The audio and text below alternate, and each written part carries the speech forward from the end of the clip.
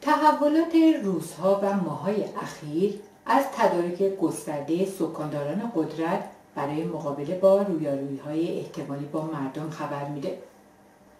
تصویب کلیات طرح تقویت بسیج مستضعفین در ششم بهمن ماه در صحن علنی مجلس و همچنین تصویب کلیات طرح جرم سیاسی تلاشیه برای آماده شدن در برابر تحولاتی که در راهه واقعیت اینه که حاکمیت اسلامی در تمامی عرصه های سیاسی، فرهنگی، اقتصادی و اجتماعی با شکست همه جانبه روبرو شده.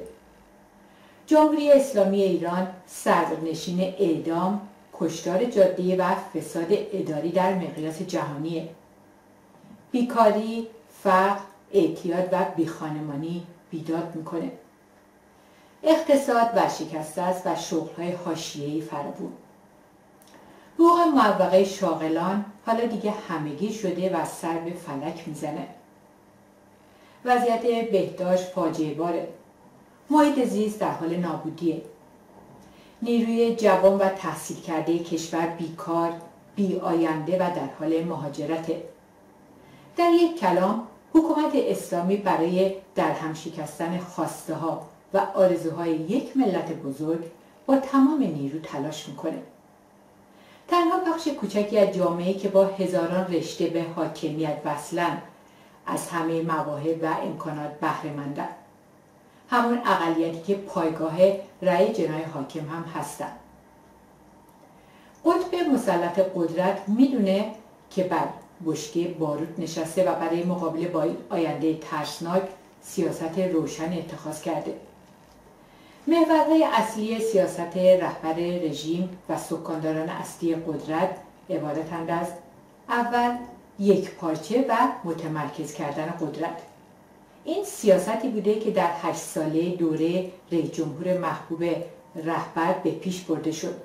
اما حتی نتایج انتخابات 92 نیز در این اراده تمرکزگرا خلالی ایجاد نکرده. رد صلاحیت های گسترده و 99 درصدی کاندیداهای اصلاح طلب و اعتدالگرا و چینش ترکیب اصلی مجلس خبرگان از این عزم راسته خبر میده. برای قیچی کردن جناهای رقیب در قدرت و سمتگیری به سوی حکومت ولایی تحت رهبری ولی فقیه و جانشین احتمالا موروسیش باید به نقش انتخابات در سیستم حکومتی پایان داد. این سیاست در دوره جدید با حمایت همه جانبه رهبر از شورای نگهبان در حال اجراست. در حکومت اسلامی جایی برای مخالفه در حکومتی رهبر وجود نداره. دوم به بنبست کشاندن سیاست ها و برنامه های دولت با هدف یک دوره‌ای کردن ریاست جمهوری اعتدالگرایان.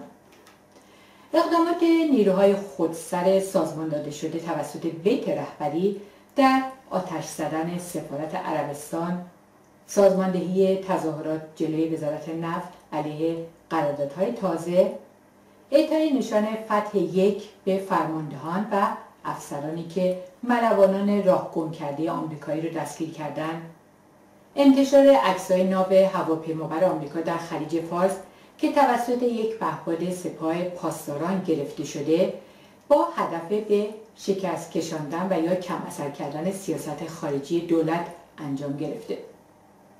فلج کردن کامل سیاست های فرهنگی دولت به شکست کشاندن وعده های انتخاباتی روحانی و اعمال فشار بر سمتگیری های اقتصادیش تحت عنوان الگوی اقتصاد مقاومتی در این راستا صورت می‌گیره.